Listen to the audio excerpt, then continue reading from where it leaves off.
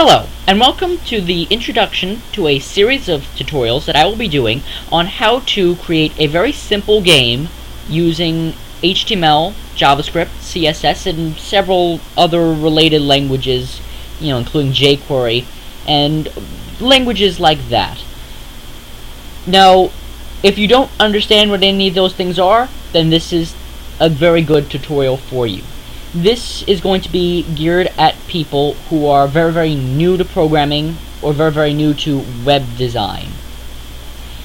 And this project that we're going to be doing was actually introduced to me by somebody um, who enjoys the game Minecraft. Now, I don't personally play Minecraft, but I thought it would be an interesting project to illustrate the basics of using web developing techniques to create interactive and dynamic systems or um, games and things like that. Uh, I think the skills that you'll take away from this will be rather useful if you go into programming or web design in general. Now, I've drawn for you a little bit of the field that we're going to be creating. Now, I'm not sure if I said before, but I don't play Minecraft. But I'm going to really try to study it and emulate it as best I can. And I might even start playing it a little bit in order to really get the feeling of it.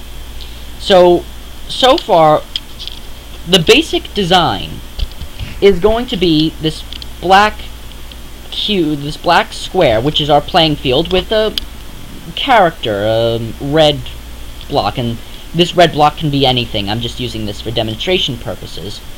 But it will be very similar to Minecraft. We'll have similar graphics, and I'll show you how to create those. And, you know, there'll be, you know, the ability to mine and, you know, um, navigate and interact with your world through the character.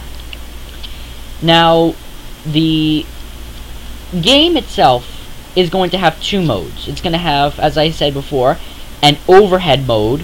Think of it sort of like one of the old Pokemon games, where you're looking down at your character from uh, a high point.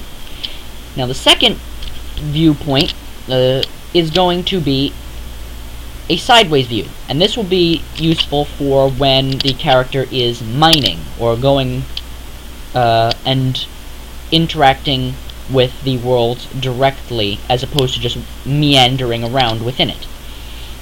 And it's going to be a profile view where you'll have your character oh,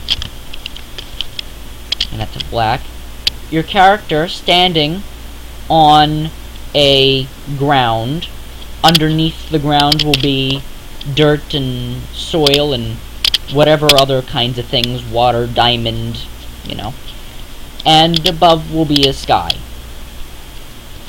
So these are the two views that we're going to be doing, just to give you a little idea of what I have planned uh, for programming this.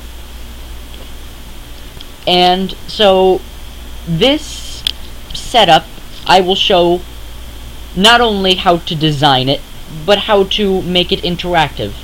How to get your character to uh, interact with the elements around it. Okay? So that is a really brief introduction to what this series of tutorials will be about.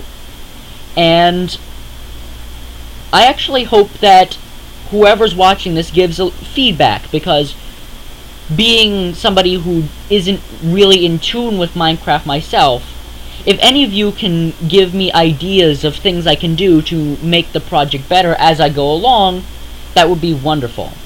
Now before I end this tutorial, I would like to give a quick shout out to the screen recording software I'm using, Screencast-O-Matic. I will link to that in the description.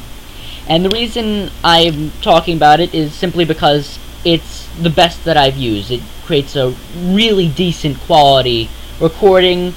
Can, you can upload it right to YouTube and you also don't have to download anything. It works right in the browser. So, that's all for now, and I will see you in the next section of the tutorial. Good day.